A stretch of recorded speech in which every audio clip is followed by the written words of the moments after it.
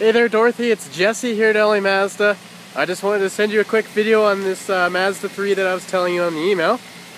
So this is our 2010 GT. Very nice car.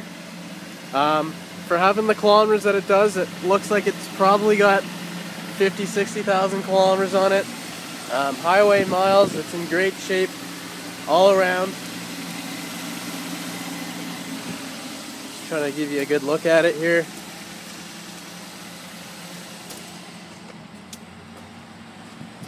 There's uh, not a single scuff on the vehicle here. Looks great. So let's take a look on the inside. So this is the GT. So you have your power windows. You've got, uh, you can turn your traction control off. You can change the pitch of the, uh, the headlights. There's your, uh, your kilometers and stuff there steering wheel, Bluetooth up here, cruise control. Then you got your uh, set it your uh, buttons for uh, your menu up here, and then you've also got your cruise control. Okay, dual zone climate.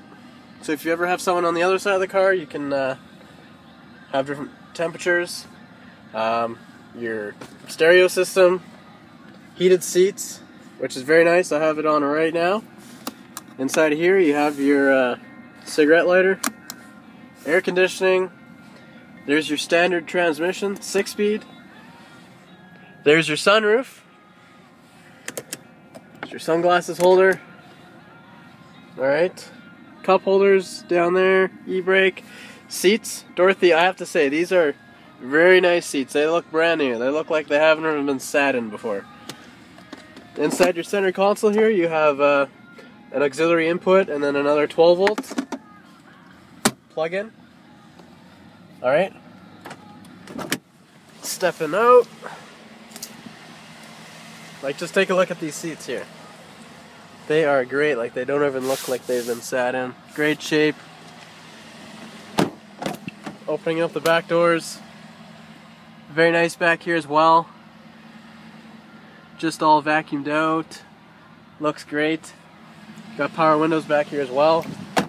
Okay.